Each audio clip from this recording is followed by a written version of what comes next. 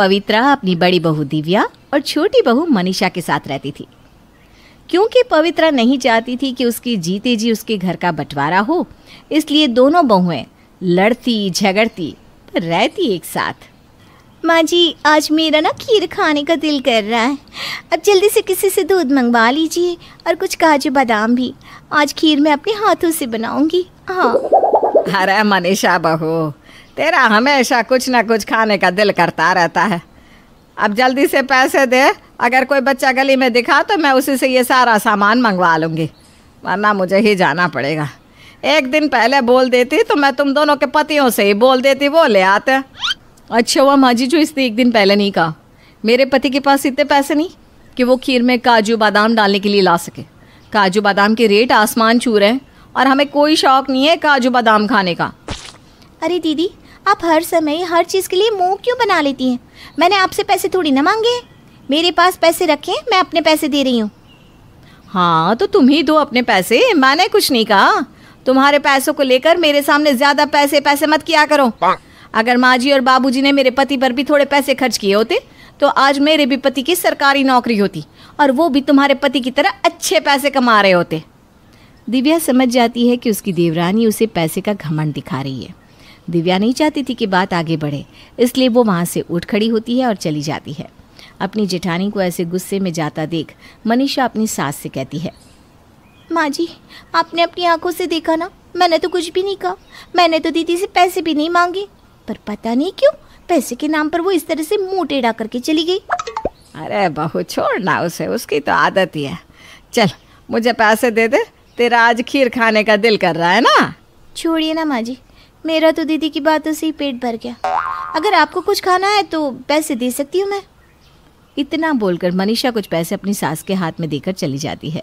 अब इसी तरह से कुछ दिन बीत जाते हैं और पवित्रा जब चाय पीने बैठती है तो वो अपनी बहू से कहती है देव्या बहू घर में नमकीन बिस्कुट कुछ रखा है तो दे दे। ऐसे सूखी चाय पीने का दिल नहीं कर रहा। माँ जी घर में तो सब कुछ ख़त्म है। अगर होता तो मैं आपके मांगने से पहले ही दे देती। लगता है आज भी ऐसी ही सूखी चाय पीनी पड़ेगी। चल कोई ना। अब तो जब घर में राशन आएगा, तभी नमकीन बिस्कुट भी आएँगे। माँ जी, अभी कुछ दिन पहले ही मैंने आपके हाथ में पैसे दिए थे ना। आप उन पैसों को कब खर्च करोगी? मैंने आपको कितनी बार बोला है, आपका जो दिल करे वो खाओ, पियो।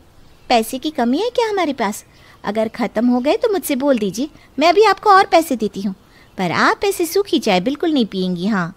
इतना बोलकर मनीषा पाँच मिनट के अंदर अपनी सास को पर्स में से पैसे निकाल कर दे देती है और एक बार फिर पैसों के लिए अपनी जेठानी को अपने सामने नीचा दिखाने की कोशिश करती है। दिव्या को अपनी देवरानी की इन हरकतों पर बहुत गुस्सा आता है, क्योंकि घर में जो भी सामान आता, उसमें दोनों ही बराबर के पैसे देते, पर फिर भी हर बार मनीषा ऐसा दिखाती, मानो उसी के पास पैसे हो और उसी ने इस घर को संभाल रखा हो। मनीषा दस रुपए के बिस्किट के लिए पाँच सौ का नोट देना ज़रूरी नहीं है। माँ जी मेरे पास आपके लिए पैसे हैं। आप यहीं रुकिए मैं अभी पैसे लेकर आती हूँ। अब आपको क्या हुआ दीदी?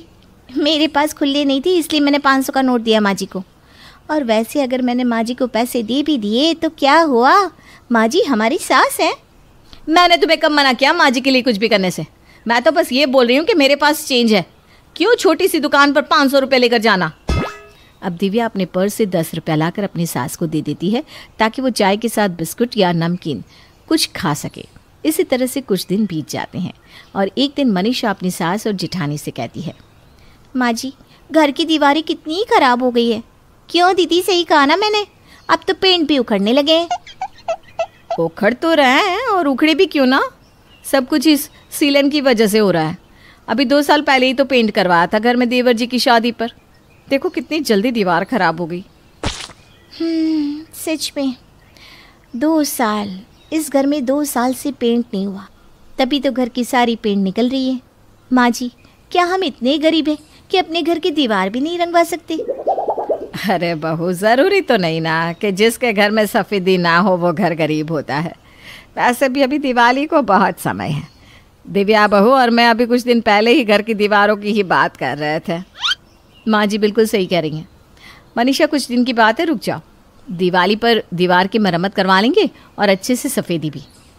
इसका मतलब जब तक दिवाली नहीं आती हम ऐसे ही कबाड़ खाने में रहेंगे? अरे घर की हालत तो देखो कितनी खराब हो गई है। मेरे कमरे की दीवार तो हद से ज़्यादा खराब हो गई है। झाड़ू लगाती हूँ तो दीवार छड़ गिर जाती है। मेरे बस की नहीं है ऐसे घर में रहने की। तो तुम चाहती क्या हो कि तुम दिवाली तक नहीं रुक सकती? बिल्कुल नहीं दीदी। आपका कमरा ठीक है इसलिए आप ऐसा बोल रही हैं। एक बार मेरे कमरे की हालत जाकर देखो। मैं तो सोच रही हूँ कि इसी हफ़्ते के अंदर घर की दीवारों की मरम्मत करवा लूँ और हाथ के हाथ सफ़ेदी भी। वो भी अच्छी वाली। मनीषा बहू कुछ दिन रुक जाना बेटा कुछ दिन की बात है। और वैसे भी अभी दिव्या बहू के हाथ में पैसे नहीं है और ये महीने का एंड चल रहा है। माँ जी दीदी के पास पैसे होते ही कब है? उनसे तो एक काजू भी मंगवाने को कहो तो कहती हैं जेब में पैसे नहीं। अगर दीदी के भरोसे रहे ना तो सारी ज़िंदगी इस कबाड़ घर में ही गुजारनी पड़ जाएगी।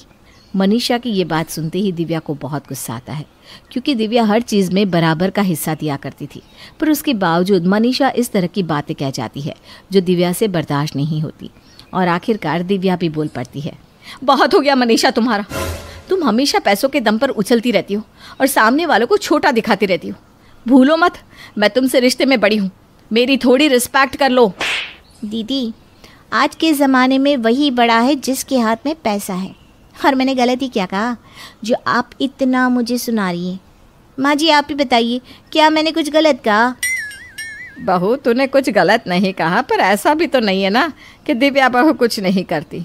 उससे जितना बन पड़ता है वो करती तो है। अगर करती है तो इतना डर क्यों रही है? क्यों पैसे नहीं लगाना चाहती? वैसे भी कौन सा सारे पैसे इन्हीं को देने? इन्हें तो सिर्फ़ फिफ्टी परसेंट हिस्सा देना है। बाकी के फिफ्टी परसेंट तो मैं ही खर्च कर रही हूँ। अगर हम दोनों बहू मिल बांट कर घर की दीवारों की मरम्मत करवा लेंगी तो इसमें गलती क्या है? मुझे घर की दीवारों की मरम्मत करवाने से कोई दिक्कत नहीं है। दिक्कत तुम्हारी बातों से हो रही है। और हमेशा ना इंसान को उछलना नहीं चाहिए क्योंकि सबके दिन एक जैसे नहीं होते। और मनीषा मेरी भी थोड़ी सिचुएशन समझा करो। अरे कुछ दिन रुकने के लिए कह रही हूँ ना? दो साल से रुकी तो हूँ। अब और नहीं रुक सकती। और ना ही आप मुझे जेठानी होने का रोप दिखा सकती हैं। घर की मरम्मत तो इसी हफ़्ते होगी और इस पे जो भी खर्चा आएगा, आपको उसका आधा हिस्सा देना ही होगा। जल्दी तुम्हें है तो तुम करवाओ। मैं एक रुपया नहीं देने वाली। रुक सकती हो तो रुक जाओ। घर की दीवार को लेकर दोनों बहुओं के बीच में बड़ी लड़ाई हो जाती है और वो दोनों अपने अपने कमरे में चली जाती हैं। पूरा दिन इसी तरह से बीत जाता है, पर ना मनीषा दिव्या से बात करती है और ना ही दिव्या मनीषा से। अपने घर की अशांति देखकर पवित्रा भी परेशान हो जाती है। और रात को जब उसके बेटे वीर और सुधीर घर आते हैं तो पवित्रा सारी बात अपने बेटों को बताती है। बेटा, मुझे अपने घर में शांति चाहिए। आज पहली बार दोनों बहुओं के बीच मैंने दीवार को लेकर इतनी बड़ी लड़ाई होते देखी है। मेरा तो बस एक ही सपना है कि जब तक मैं ज़िंदा हूँ, मेरा घर, परिवार एक ही रहे। पर अगर इसी तरह से ये लड़ाई बढ़ी तो मेरा परिवार टूट जाएगा। माँ फ़िक्र मत करो। हम दोनों भाई हमेशा एक साथ रहेंगे। पर भैया मनीषा का कहना कोई गलत नहीं है। सच में घर की हालत बहुत ख़राब हो गई है। हमें इसी हफ़्ते के अंदर घर में काम शुरू कर देना चाहिए। वैसे भी मेरी तीन चार दिन की छुट्टियाँ हैं मैं अपने सामने ही घर के कामों को करवा दूँगा। सुधीर तेरा और तेरी बीवी का कहना बिल्कुल जायज़ है। पर भाई अपने इस बड़े भाई की मजबूरी भी तो समझ। बस दस दिन की बात है। दस दिन बाद मुझे सैलरी मिल जाएगी और जिस दिन सैलरी मिलेगी उसी दिन से घर में काम शुरू कर देंगे। ठीक है भैया। अगर ऐसी बात है तो मैं मनीषा को समझाने की कोशिश करता हूँ कि वो दस दिन और रुक जाए। अब सुधीर और वीर दोनों ही अपनी बीवियों से इस बारे में बात करते हैं और उन्हें अपने बीच की लड़ाई खत्म करने को कहते हैं। दिव्या गुस्सा थूक दो। मैंने बात कर ली है। माँ ने मुझे सब कुछ बता दिया कि तुम्हारी मनीषा से किस बात पर कहा सुनी हुई। देखो मैंने ना सुधीर से भी बात कर ली है। उसने कहा है कि वो कुछ दिन और रुक जाएगा। देवर जी तो हमेशा आपकी बात मान लेते हैं। पर कहानी में ट्विस्ट तो तब आता है ना, जब उसकी बीवी उसकी बात सुनने से मना कर देती है। और पल भर में ही देवर जी अपनी बात से पलट जाते हैं। इतने सालों में आप अपने भाई को नहीं जान पाए, पर मैं इस घर के हर इंसान के रग रग से वाकिफ हूँ। वीर दिव्या को समझाने की कोशिश करता है, पर अब भी दिव्या का मुँह बना हुआ था। जहाँ वीर दिव्या को समझाने की कोशिश करता है वहीं सुधीर भी मनीषा को समझाने की कोशिश करता है। मनीषा अगर भाभी ने कहा था कुछ दिन रुक जाने के लिए तो रुक जाओ ना। वैसे भी भैया से मेरी बात हुई है। मैंने उनसे कह दिया है कि इस बार हम दिवाली से पहले ही घर के दीवारों की मरम्मत करवा लेंगे। आपने कहा और जेठ जी मान गए? मानना तो पड़ेगा ये आखिर हमने गलत ही क्या बोला है? बस भैया थोड़ा टाइम मांग रहे हैं। कुछ दिन रुक जाते हैं। दस दिन की तो बात है। अगर ऐसी बात है तो फिर ठीक है। मैं सिर्फ़ दस दिन और रुकूँगी हाँ। लेकिन अगर दस दिन से ज़्यादा हुए ना तो वही होगा इस घर में जो मैं चाहूँगी। अच्छा ठीक है मेरी माँ, बस दस दिन रुक जा, बस। वीर और सुधीर अपनी अपनी पत्नियों को मना लेते हैं। पर कहीं ना कहीं अब भी दिव्या और मनीषा में मन मुटाव था। दोनों देवरानी जिठानी एक दूसरे से बात नहीं करती। अगर मनीषा आती तो दिव्या वहाँ से उठकर चली जाती, और अगर दिव्या आती तो मनीषा उठकर चली जाती। ये देखकर पवित्रा को बहुत दुख होता है। और वो अपनी दोनों बहुओं को समझाने की कोशिश करती है। दिव्या बहू तू बड़ी है। इस घर का भला बुरा जानती है। और तू जानती है ना छोटी बहू कैसी है।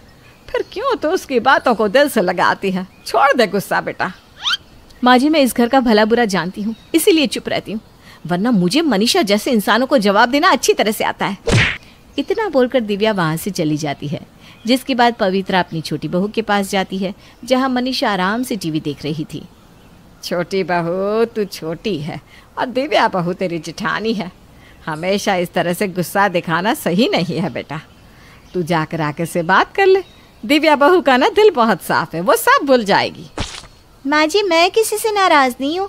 मुझे तो बस दस दिन इंतज़ार करना है। आखिर मैं भी तो देखूँ इस दस दिन के अंदर जिठानी जी कौन सा तीर मारने वाली है? मैंने तो सोच लिया है घर की दीवारों की मरम्मत तो इसी महीने होगी। और इस बार देखती हूँ मैं कैसे जिठानी जी पीछे हटती हैं? पवित्रा अपनी दोनों बहुओं को समझाने की कोशिश करती है, पर उसकी दोनों बहू उसकी बात को समझने की कोशिश ही नहीं करती।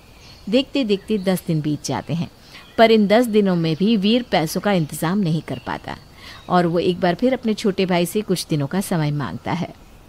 मैं क्या सोच रहा था कि अगले महीने करवाते हैं ना दीवारों की मरम्मत? अरे, दीवारों की मरम्मत करवानी ही तो है। फिर आज हो या कल? और इन सब के लिए ना पैसे चाहिए होते हैं। जब तक हाथ में पैसे ना हो तब तक कोई काम करना अच्छा नहीं होता। इसलिए हम ना अगले महीने दीवारों का काम शुरू करेंगे। भैया बुरा मत मानना। पर आपके हाथों में कभी पैसे नहीं होते। अगर हम आपके भरोसे बैठे रहे तो हमारा तो बेड़ा पार हो जाएगा। आप एक काम कर लीजिए आप किसी से उधार ले लीजिए। बाद में पैसे चुकाते रहना। हम कोई कर्जा नहीं लेने वाले। हम तभी इस घर की दीवारों को हाथ लगाएँगे जब हमारे हाथों में पैसा होगा। अगर तुम्हें इसी महीने करवाना है तो तुम अपने हिस्से में करवा लो। दीदी अभी घर का बंटवारा नहीं हुआ है जो आप तेरा मेरा हिस्सा कर रही हैं। ये पूरा एक घर है और इस घर की हर एक दीवार की एक साथ मरम्मत होगी। और मेरे पति ने कुछ गलत नहीं कहा है। अगले महीने भी तो आप पैसा दोगे ही ना। वो पैसे हमें ना देकर कर्ज चुका लेना। अभी कहीं से पैसे लेकर घर की मरम्मत के लिए लगा दो। हम बहुत गरीब हैं। किसी को हम पर भरोसा नहीं कि हम उनका कर्ज चुका पाएँगे। एक काम करो इस साल तुम पैसे लगा लो। हमारे पास पैसे होंगे तो हम तुम्हें दे देंगे। या फिर अगली बार हम पैसे लगा लेंगे। अगली बार को किस्ती दिखाए दीदी? और इस बार आपकी चालाकी काम नहीं आने वाली। माँ जी कह दीजिए दीदी से वो अभी के अभी सामान के पैसे दे दे। हमने पेंटर और मिस्त्री से बात कर ली है।